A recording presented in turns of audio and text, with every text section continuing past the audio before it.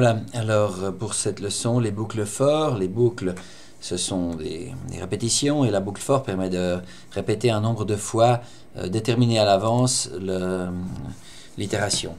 Il y a une variable pour gérer le nombre de répétitions. Donc la syntaxe est la suivante, vous devez taper fort ou dans un programme ou en direct, en ligne, le nom de la variable, et puis euh, le- les valeurs de la, de la variable, ben, par exemple A, ça peut être du texte, n'est-ce pas? B, C, par défaut les variables sont du texte, euh, n'est-ce pas? Ensuite, euh, do, puis enfin la les instructions à répéter, par exemple tout simplement echo de l'art A, et puis down qui signifie fin de, de la boucle. Alors il m'écrit ABC. Vous constatez qu'on peut écrire ça sous cette forme en une seule ligne. Euh, ça va aussi. Euh, ensuite, euh, la variable peut être toujours existante après, c'est-à-dire que si je fais toujours écho dollar, dollar A, il y a toujours la dernière, dernière valeur utilisée, c'est-à-dire le C. Pour qu'elle ne soit plus là, il faudrait faire une 7 et puis elle disparaît, euh, il n'y a plus rien. La variable peut être une, valeur entière, euh, attention de ne pas être piégé, si vous ne la déclarez pas à l'avance, euh, cette valeur-là, on va mettre 1, 2, 3, ça fonctionne bien, mais c'est le texte 1, 2, 3, et non pas les, les nombres, on ne peut pas faire d'opération avec. Pour faire des opérations avec, il faut commencer par déclarer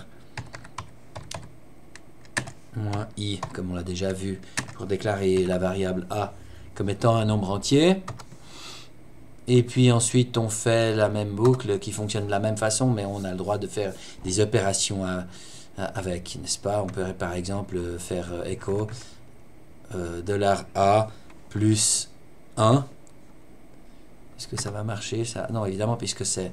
Il faudrait faire euh, b égale a plus 1. Bref, il faut faire une opération en mettant euh, plutôt que echo. euh, Je ferai donc euh, euh, b égale dollar $a plus 1. Encore faut-il déclarer b comme,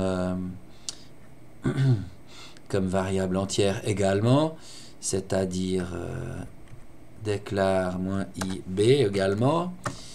Et puis ensuite, on va mettre dans la boucle un autre truc, c'est-à-dire echo b.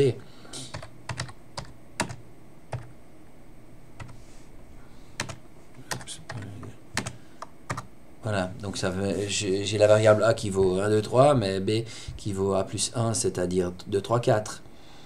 Voilà. Et puis évidemment, je peux de nouveau faire un 7 a b. Voilà, l'IRM n'existe plus. Je peux aussi utiliser euh, la boucle, euh, l'instruction sec euh, qui génère automatiquement des, des nombres. Euh, j'aurais dû laisser euh, la déclaration de pour A en tout cas. Et puis euh, je vais essayer la boucle de répétition là, Euh, plutôt que de mettre euh, voilà, echo de la A. Je vais simplement mettre euh, ici. J'en ai marre de, mettre trop, de valeurs. Ici, je vais mettre euh, un programme sec. Donc, je mets un, apostrophe à l'envers que je vais exé- qui va faire exécuter le programme sec avec euh, 1 jusqu'à 5. Euh, ça devrait jouer. Oui. 1, 2, 3, 4, 5. Donc j'ai pas eu à écrire moi-même 1, 2, 3, 4, 5, il me met une séquence tout seul. Je vous rappelle, il me semble qu'on a déjà vu, ces apostrophes, en fait qui sont des accents graves, euh, signifient aller exécuter cette commande-là. Donc la commande va s'exécuter, puis euh, le programme sec va générer 1, 2, 3, 4, 5, une séquence de, de chiffres, tout simplement. Voilà, je crois qu'on a vu à peu près toutes les possibilités. Il y a encore d'autres syntaxes pour la, pour la boucle for, mais celle-ci convient très bien, et puis ça, ça suffira pour vous.